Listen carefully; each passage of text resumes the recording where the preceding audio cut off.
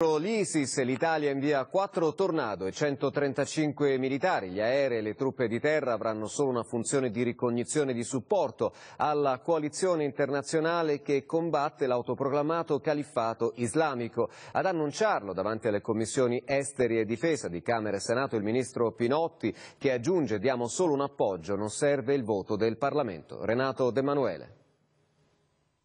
Quattro aerei Tornado con compiti esclusivi di ricognizione e i militari a supporto di questo intervento per una forza complessiva di 135 uomini.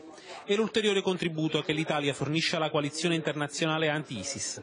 Il ministro Pinotti chiarisce subito che gli aerei non bombarderanno nessun bersaglio e non avranno nemmeno il compito di illuminare aree per consentire ad altri velivoli di sganciare ordigni. Il compito degli italiani sarà quello di individuare dove si annidano le formazioni dell'ISIS per consentire un utilizzo efficace dei mezzi della coalizione coalizione internazionale e delle forze militari irachene e kurde. L'intervento del ministro divide le opposizioni. Per Forza Italia è giusto colpire il terrorismo islamico, purché il Parlamento sia coinvolto e informato delle scelte del governo.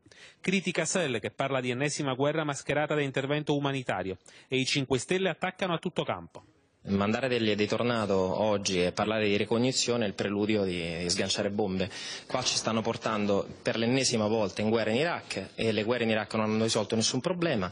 Qua occorre capire chi finanzia il terrorismo, in primis, quali paesi ci sono coinvolti, quali paesi sostengono economicamente l'ISIS. La maggioranza invece è compatta nel sostegno al governo.